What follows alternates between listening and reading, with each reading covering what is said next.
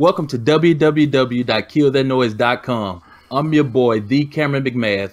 I got my man Joe Son with me, and today we have the special privilege of having two-time Sun Belt Player of the Year, Mr. Sack Machine himself, Ja'Von Rolland Jones from Arkansas State. Appreciate you for joining us, man. Oh man, appreciate y'all for having me, man. Appreciate y'all for having me. All right, Ja'Von, let's jump right into it. Uh, now, you're a group of five college football team. Like Cam said, you're a two-time Sun Belt Conference Player of the Year. How do you feel about being overvalued, or maybe, I mean, undervalued, or maybe even overlooked by a lot of scouts, or even maybe even experts? Uh, I mean, you know, I, I mean, I don't blame them at times, but some stuff, you know, when I see some other people, you know what I'm saying, I just like, it's really not just because they go to the bigger school or the name on the helmet, you know what I'm saying? It, it just be like, like, man, you really like overlooking me for this guy. So I mean, you know, the, the best way to do that is just, you know what I'm saying, keep my head down, just keep working, man. You know, it, it bothers me sometimes, but it, it don't make or break me. Gotcha.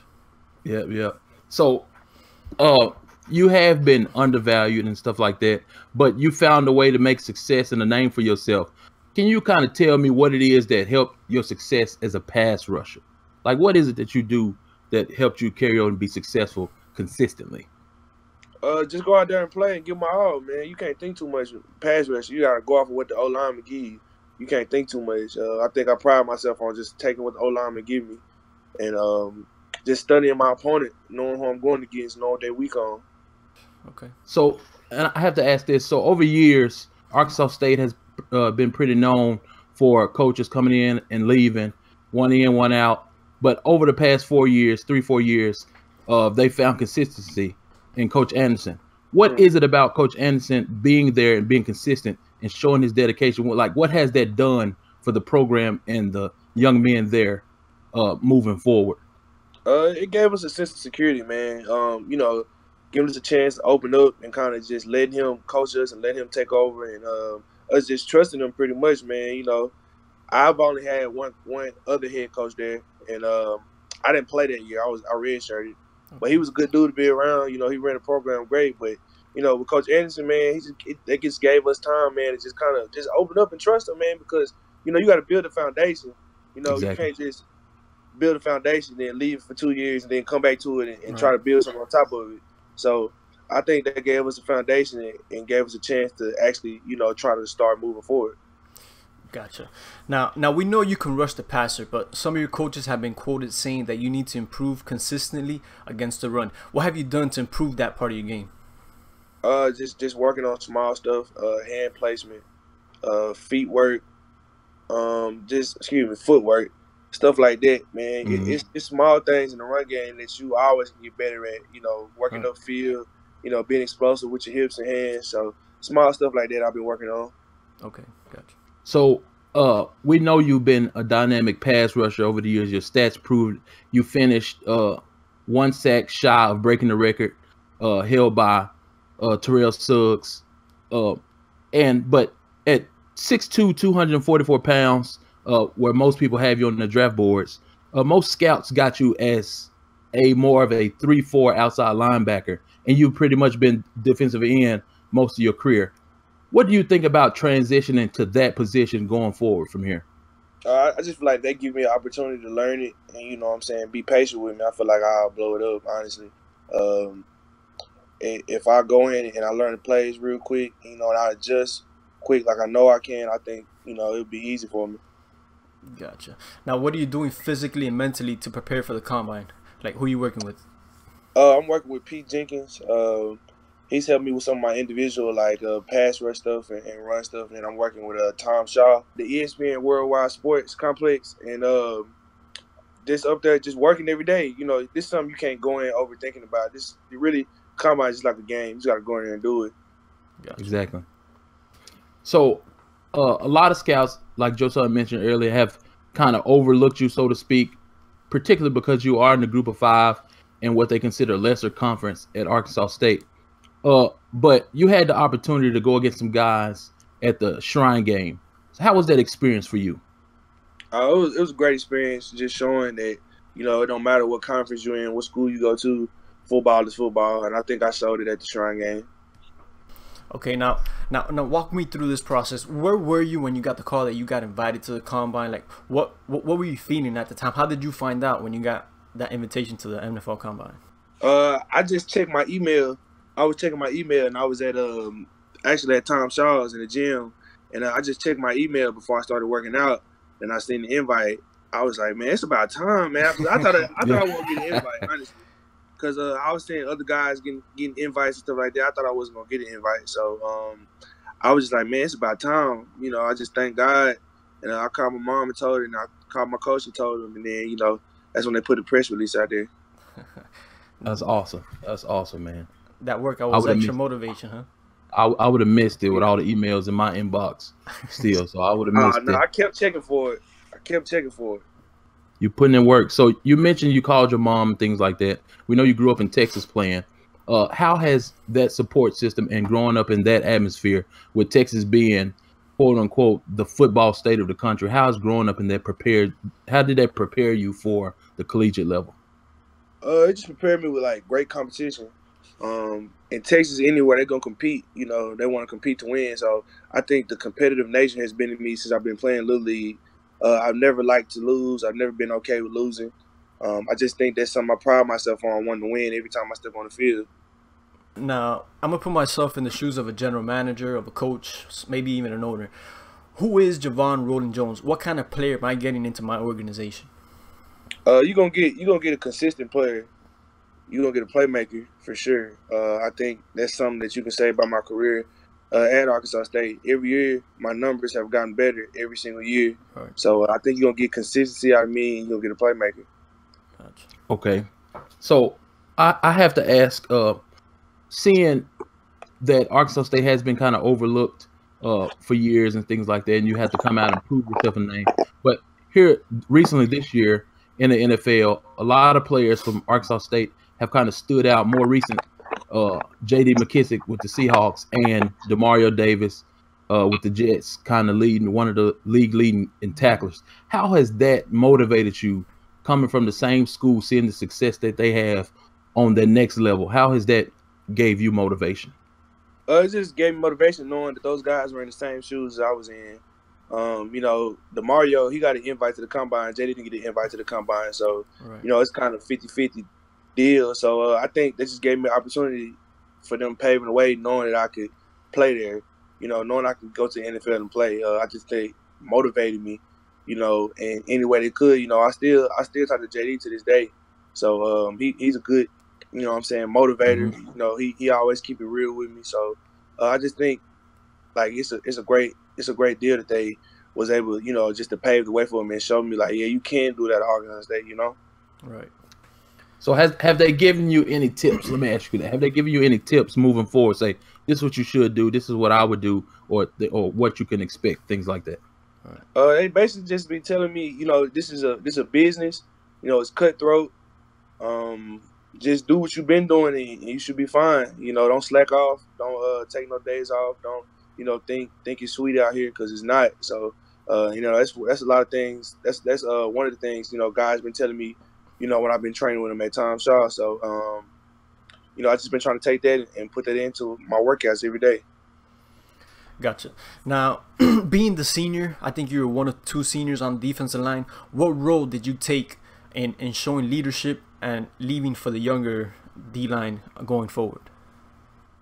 Uh, I, I, just think I led by example. Um, you know, I'm really not a vocal leader. You know, I can be a vocal leader at times, but I'm just one of the guys that leads by example and you know show you how to do it. I, I don't like to talk too much. You know, like when my pads on and out there on the field, I just like to show people. Gotcha. So I, I have to ask this, right? Especially being a premier uh, pass rusher uh, and defensive player all all around in the country, not just in the Sun Belt. Um, my coach told me when I was playing uh, that you practice with the best, you play with the rest, and seeing that you were one of the best, give me the one person that you looked forward to going up against every practice? Who gave you the hardest time? Uh, on my team? Yeah, yeah. Uh, Bonner, Leonard Bonner. He just actually won. Um, I forgot what award he won, but he he's a he's a good tackle coming out of Arkansas State, man. Y'all keep it on. Yes, sir. So what what is it about him that that kind of helped you prepare for these games and things like that that he did so well against you? He don't care. he don't care what time of day it is. He he finna he finna bring it to you. Definitely. He don't care. I mean that's that's the best way I can put it. He he don't, care. Okay, gotcha.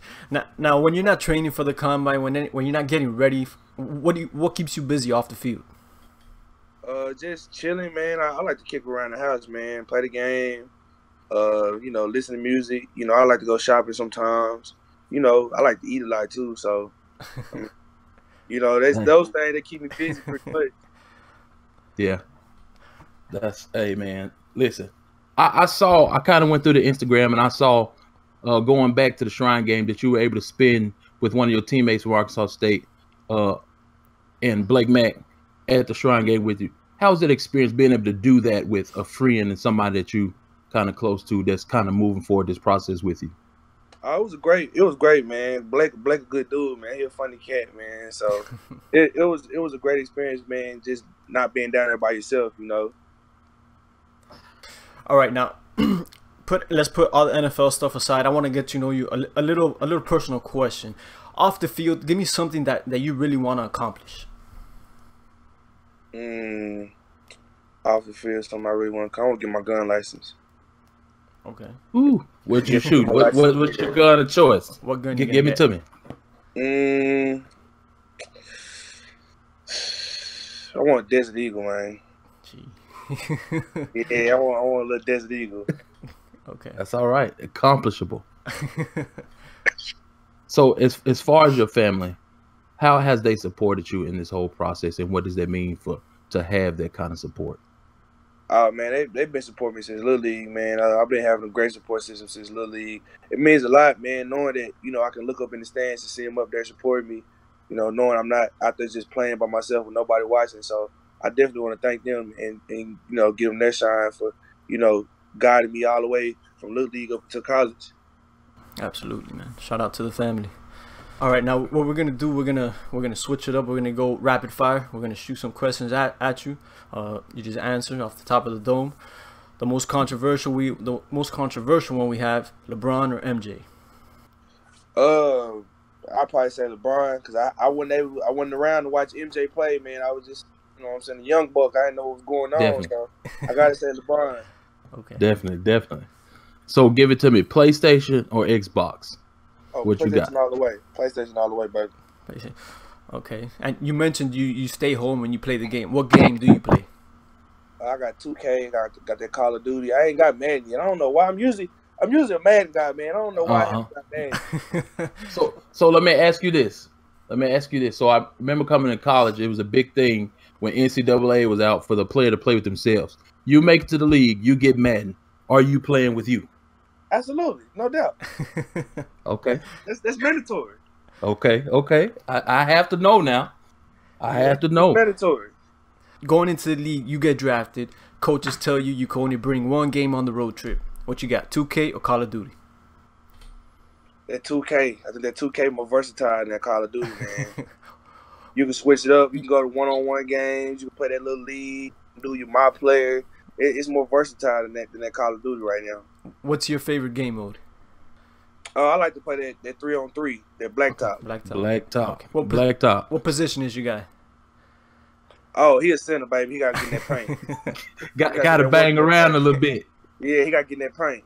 Okay. Nothing wrong with it. So I have to ask this: 2K your game. So I have to ask you. That's a game you have to play against other people so you can talk trash. Give me the one guy that that you go at it with in 2K. In school, on the road, wherever you got. Uh, who I be going at with? Oh, my uh, my friend uh, Dejan Emery. He uh, he go to Arkansas State. He a defensive end. He he coming out next year, man. I go at it with him on 2K. Now who wins? That's the that's the good question. Man, he give me he played more than me, man. He he give me he give me, he give me man. But I, I sneak up and get a win every once in a while. Emery, let us get some time. You're going down, brother. That's all that means. Oh That's all that Make mean. let him know. He, he That's he definitely what they mean. That's definitely what it means. All right, now. So let me ask this. Go ahead. Let me ask this. Who is the greatest Mike out of the three? You got Jackson, Tyson, Jordan. Ooh, you got him there. Yeah, that's hey, that's a, that's a hard one. I'm gonna go with uh, I'm gonna go with Michael, Michael Jordan. Ooh, Jordan out of three. Okay. Okay. now, being that you play the defensive end, you who who's better in your opinion? Aaron Donald, J.J. Watt. Uh, it's hard. I mean, going off of right now, I gotta say Donald, man. Yeah. Defensive player of the year. Gotta gotta Yep. say it, man. Yeah, you good as your last game. So Yep. I, I agree. I agree on that. Hundred percent. You only good as your last game played. Now, what you got? Seafood or steak? Steak. Gotta gotta get that steak. Got to. And Nah. mandatory. What do you what are you having it with? Your last dish. What are you having it with? Oh, I'm gonna give me, uh, you know what I'm saying? I'm gonna give me a nice steak, real dipped and buttered. Ooh, I'm gonna give you some, some loaded mashed potatoes with the bacon. Loaded. And, and the chives and the cheese in it. And then I'm gonna give you some corn off the corn on the cob. Okay.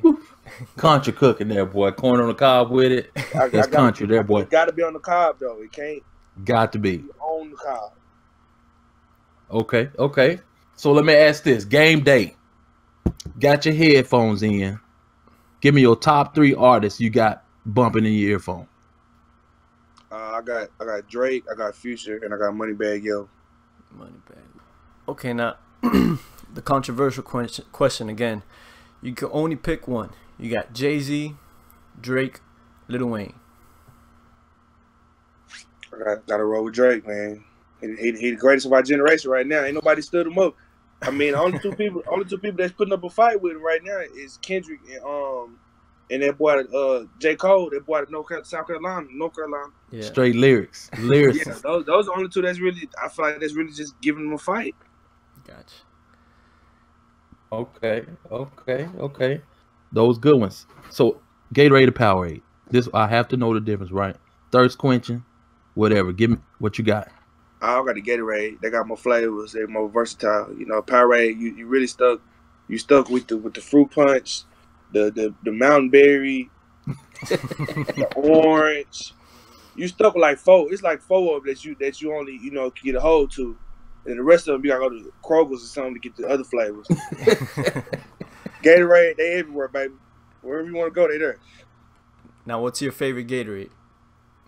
Hey, man, that clear one. It's a clear one. I don't know what it's called. It's clear. It's not the white one. It's not the white looking one. I think it's, it's- clear like water. Clear Ice. And mixed think it's Oh, Yes, but they don't sell them like they don't sell them in the stores. You gotta go to Walmart and buy like the little ones. They don't sell like the, Yeah. you know the regular size, but they don't sell them in the store. Clear You gotta I'm go to gonna Walmart check that out. I'm gonna have to check that out. Yes, the I'm clear one. It looks just it like it looks just like water. Not the G two though. It gotta be regular Gatorade. Shouts out Gatorade on on the spot, right? Give my man a deal, Yeah, I need some. I sponsor, all I that, don't, I don't need a hundred million right now. all that, because I'm sure gonna check it out now. I'm gonna take your word for this one.